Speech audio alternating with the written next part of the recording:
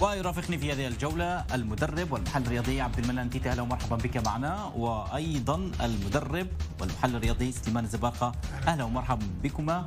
لكن دعونا نتحول ونرحب بضيف الأستاذ لهذا الأسبوع.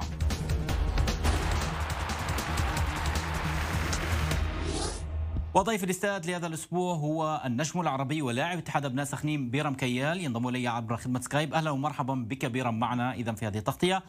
اولا تعقيبك على التوقيع في اتحاد أبناء سخنين وكيف تصف هذه الخطوة؟ أول شيء سلام لك ولجميع الموجودين في الاستاد عندك ولجميع الجماهير اللي عم تشوفنا عن طريق التي في.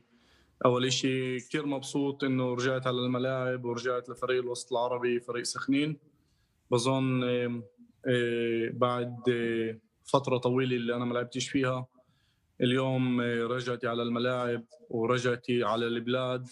راح يتعلي من شو إحنا بدنا كفريق. وأنا بالنسبة لي اليوم رجعت على سخنين عشان أقدر أعطي كل طاقتي وكل شيء اكتسبته في العشر سنين وأنا خارج البلاد عشان أقدر أساعد اللاعبين الموجودين وهنا السؤال لربما يعني هنا السؤال بيرم في هذه المرحلة.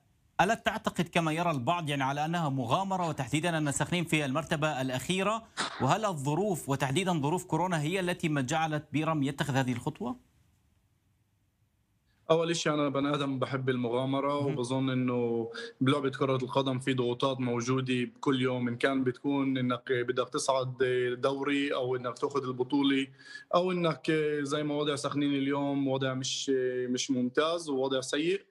بس بظن سخنين اليوم بوجودي بوجود المهاجم الجديد اللي مضى بالأسبوعين راح يكون فريق ثاني طبعا بوجودي هناك وبوجود هذا اللاعب راح يبين إنه الفريق بيرام. ما بدوش يكون وين هو متواجد حاليا. بيرام معك عبد تيتي كيف حالك؟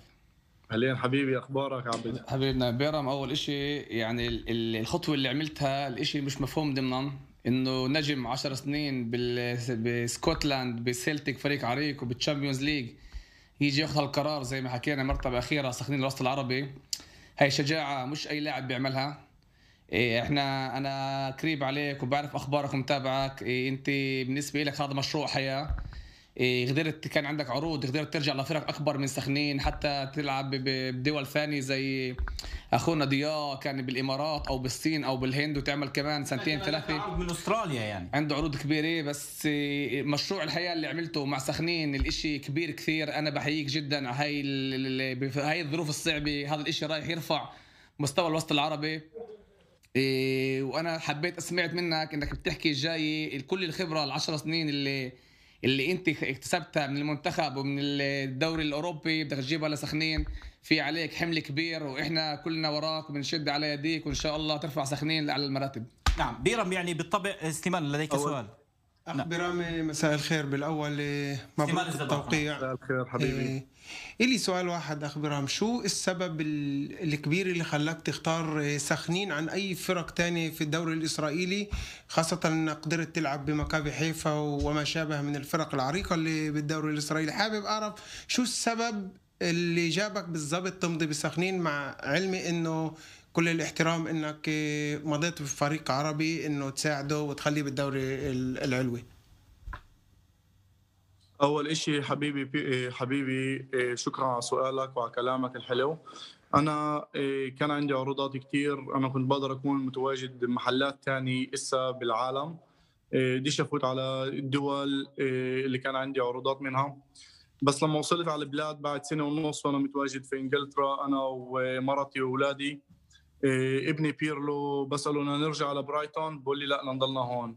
فواحدة من الأسباب كانت إنه بده يكون حد العائلي من ناحية ثانية فريق سخنين وجمهور سخنين وإدارة سخنين ورجال أعمال سخنين والوسط العربي الضغط اللي كان متواجد إنه أنا أجي لعندهم وأمضي أنا قلت لهم إنه الإشي بيشرفني بس ما كنتش عارف إنه الإشي راح يكون بهالسرعة ويعمل على قد ضجة. فلما بلشت أشوف المحبة وشفت إنه الوسط العربي كله وقف عشان نعمل البرنامج هذا البرنامج الكبير اللي أنا عم نحكي فيه وعم نحكي على project بيرم كيال اللي زي ما سموه إنه أجي أعطي كل شيء اكتسبته من كان من خبرة كلاعب ان كان بشو شفت بحياتي بالعالم اللي وقفت معها أجيبه اليوم على سخنين وأجرب أخذ الفريق لقدام إن كان مع الشبيبة إن كان بشغلات إدارية ممكن أنا يستشيروني أو هني أقدر أحط الكلمة الحلوة. وبظن إنه بالآخر إنه فريق وسط عربي قدر يجيب لاعب اللي قعد 10 سنين في الدوري الإنجليزي.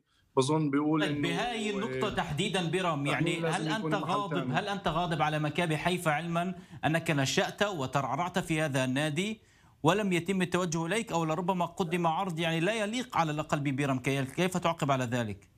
لا مع معلوماتك غلط نعم. أدهم مكابي حيفا في شهر ستة أو سبعة بالأحرى بعد ما خلصت تعقدي مع برايتون تكلموا نعم. مع واحد من وكلاء الأعمال وكانوا بدنياني أجي مع وكيل من من اللي مشغولين هون في البلاد بس ما زبطش لأنه كانت الفكرة اللي لي إنه ضلني أكثر وقت في بريه البلاد. بس زي ما أنت حكيت في الأول وضع الكورونا والشغلات نعم. اللي صارت في السوق في أوروبا غلطت طبعا كثير بس إنه اليوم أنا في سخنين أنا لاعب سخنين تعال نركز أكثر إنه أنا لاعب سخنين وجاي أجرب آخذ كل شيء اكتسبته واعطيه للعيبه الصغار لأنه أنا اليوم كنت في التدريب وشفت الاستقبال والحرارة يعني اليوم الاستقبال والحرارة.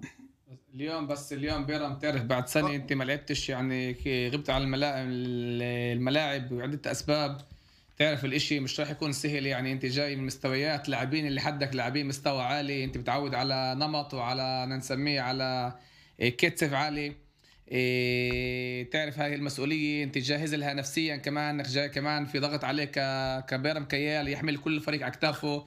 مرتبة أخيرة ف أخ آه نعم بيرم أخ أنا أنا أنا أنا معك بكل شيء بتقوله بس اليوم زي ما حكيت لك اليوم لما أنا وصلت على سخنين وصلت بقلبي وبروحي نعم. وصلت بجسدي كمان لأنه أنا بالنسبة لي الراس والقلب هني المصدر تبع كل نجاح. يمكن القول بيرم في هذه النقطة أن إدارة أبناء سخنين قالت عنك يعني بالكلمة أبدى مرونة وتساهل من أجل التعاقد مع الفريق وأيضا من خلال بيرم كيال سيتم يعني تحويل الفريق من ليس فقط لفريق عربي إنما أيضا على مستوى نادي يعني. حكيته أول كلمة. مش مفهوم ضمنا إنه إيه بهي, بهي الأرقام اللي قبل الواحد لاعب نجم اللي كان عنده عروض كبيرة فاهم؟ يعني هذه خطوة جريئة من بيرم نعم بيرم طبعا الشجاعة اللي عملها وهذا اللي قدم الوسط العربي. أنا أنا كعبد تيتي يعني كثير احترمت هاي نعم.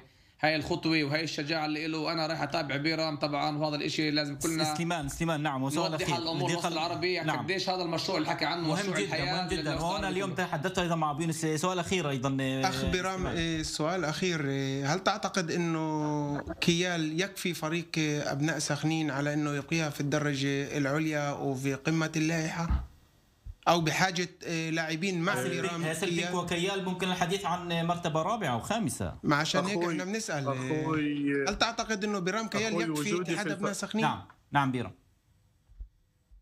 وجودي في الفريق آه، بيطلع آه، درجات للفريق إنه وين يكون. اليوم إذا بدي أحكي لك إنه أنا بكتفي إنه أضلني في في الدوري فأنا بكذب عليك. بدنا نرجع لسؤال عبد. عبد أنا احكي لك إنه وصولي لسخنين ما كانش إيه، سببه مادي أو مصاري. أنا قلت إنه أنا مستعد أجي على الوسط العربي لأنه كانوا يحكوا إنه وصول بيرم لغاد. راح يعطي دعم كبير للفريق والفريق طبعا بده يعطيني الدعم اللي انت قلته.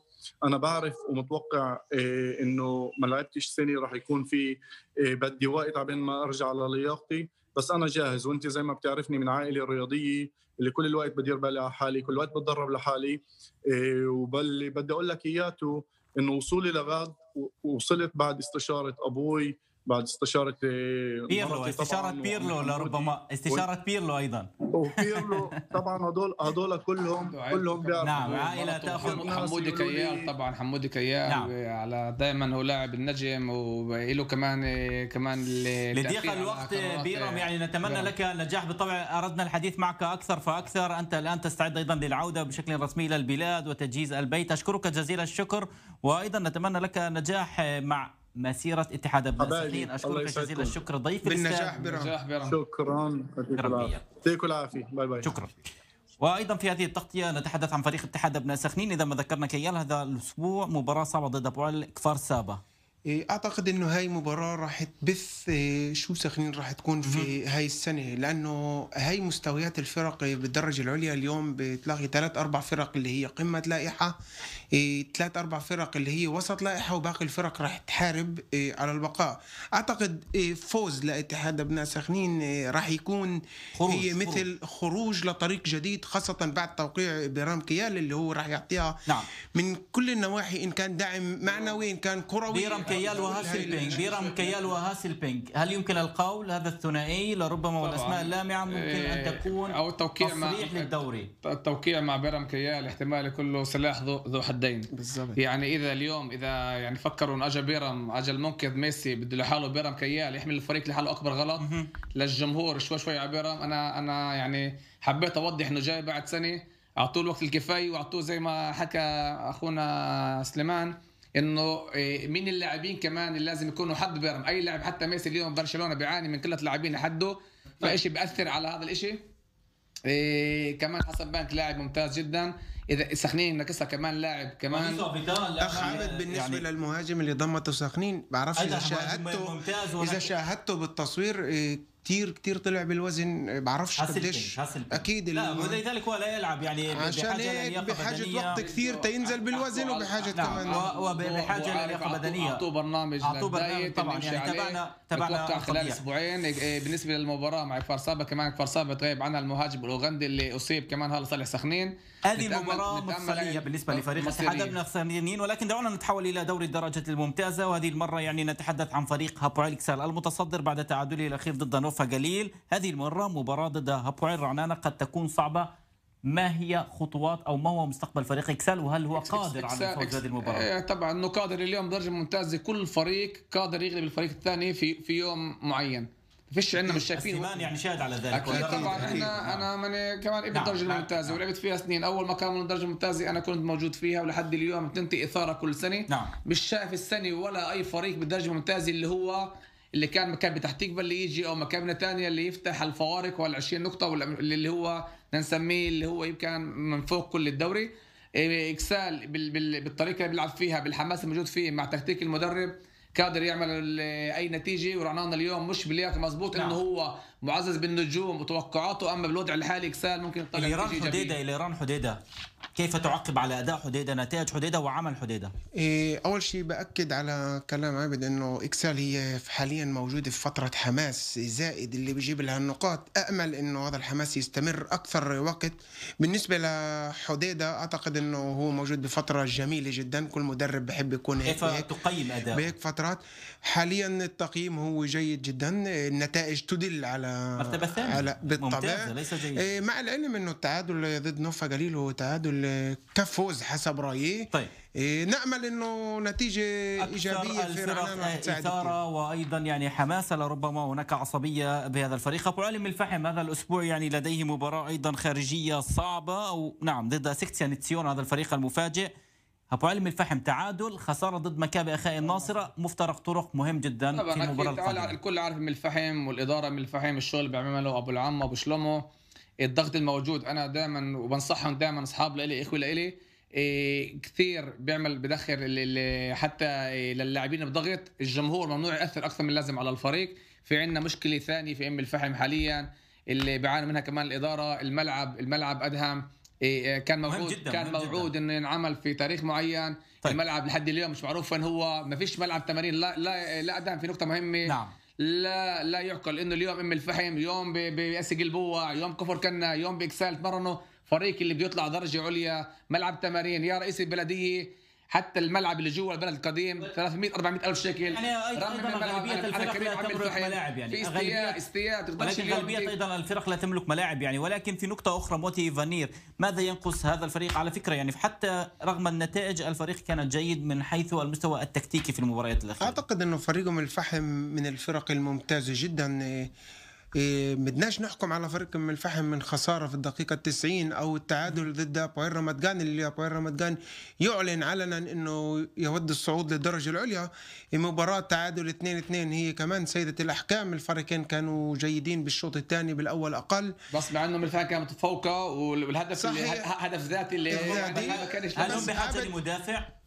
إيه، لا لا أعتقد فريقهم؟ آه، جيد آه، لا برضو حسب رأيي الفقرات اللي عندهم فقرات جيدة رجعوا جدا إلي مالك بالنص راح يساعد. الفريق كليباكي كان. عند- كان عندهم مشكلة جابوا كمان لاعب بخط الوسط اللي هن دافيدوف وكمان لعيب عبد- أسماء اللي ما عندوش كيلو نعم. كيف لازم